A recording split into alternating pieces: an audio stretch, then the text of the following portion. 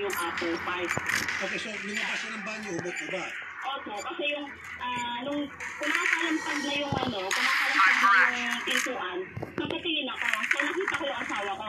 Pinuntahan ko agad siya sa CR, nasa CR pa siya. Sabi ko sa kanya, magtago ka, kinuha ko yung shirt niya, hinagis ko sa ilalim ng lababo.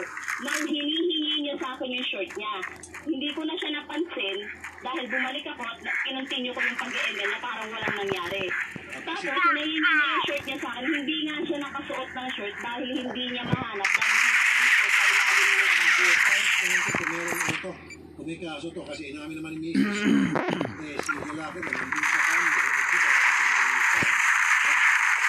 In fairness, sabi ni mismo ni Mr. yung si babae, nakamis na. Sabi ko, mas kayo para eh, kung ebidensya na meron yung ginagawa mo.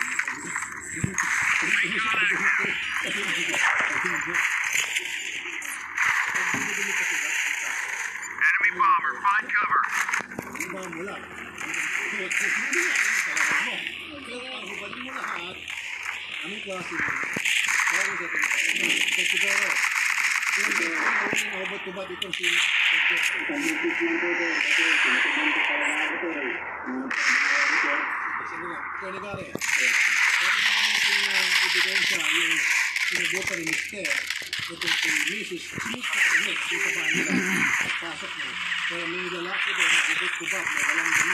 kasi pinatutunan ko pa lang ako ito. Kasi nga, Attorney Gary, pwede mo gamitin yung ebidensya, yung sinabutan ni Mr. Itong si Mrs. Smith na damit, yung sa bahay nila, pagpasok mo. Kaya may lalaki doon, hubad-hubad, na walang damit. At uh, ang palusot, tumatanggal. Kaya wala. Walang damit-damit. So, ang sinasabi wala na nangyari kasi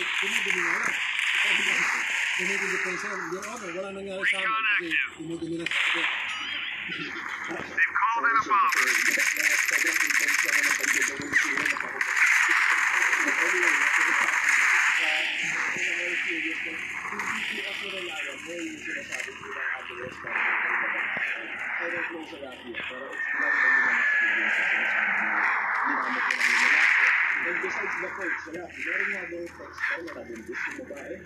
na lalaki. So, yun siya malakas na yun na meron siya Enemy bomber. aside niya. I think hindi natin masyado dapat ito paniwalaan yung sinasabi ng ganyan. Maybe we should bring her under stricter scrutiny. Kasi, tawag ko lang sa lahat, it's very, it's, it's hindi siya reliable witness. So, binig, ano kasi ba? Yes, sir. Kapag ka mag-decide sa tao, meron po sa case for authority. Ang gagamitin po natin Recon mobilized. Second, pwede natin gamitin pang corroborate po. Nakita niya eyewitness is nakita niya hubad yung lalaki sa kanilang bahay. Hindi po kasi natural yun na ganun makita mo, knowing na may ritual siya, bakit siya magpapapasok doon. And kung ang excuse niya sila, kung sa DMA sila, pwede naman kayo mag-confront. They've called in a cellphone, hindi naman sa isa't isang. Sino nga po, pwede ba yung illegal use of bathroom? Siya, or not wearing, ano, clothes? Wala na.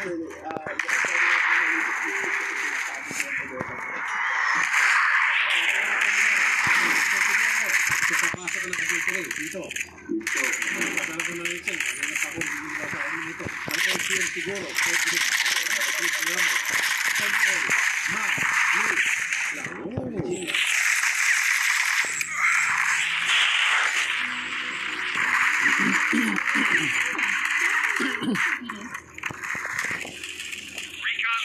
One versus one sa loob ng bahay. Sabi ng Arnold Mayan. Oh. Naghihintay ata si Anaconda para papasok sa drone.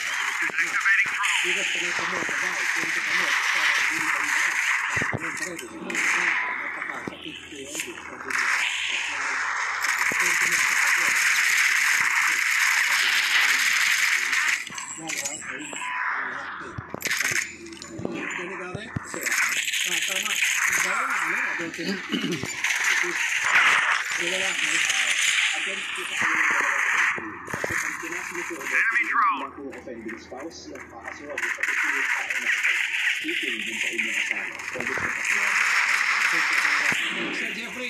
Okay, so nahuli ka ni Mr.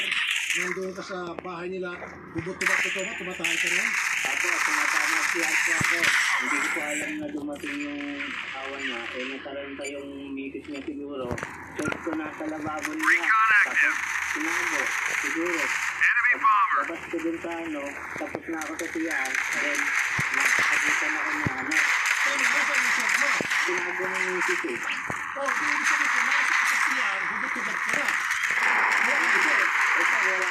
akong search. Pagpasok ko siya ko, Oh, sa iba, iba, pumasok ng CR. ako ang ganito, naglalaro kami ng Mobile Legends. Okay. Habang naglaro ka ng Mobile Legends, sinubad mo rin ang kalawan mo. Hindi po, lapit ko sa dahil ko na boys. mo, sabi mo, yung, yung salawan mo, tinago ni Mrs.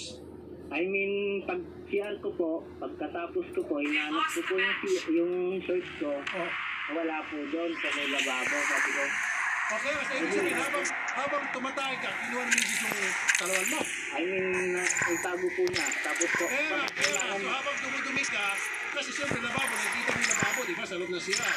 Ito, Oh, so, saan saan ba yung lababo, sa loob ng CR o sa labas ng CR? sa labas po. Bakit kung salawan mo, dumiiwas sa lababo, sa labas ng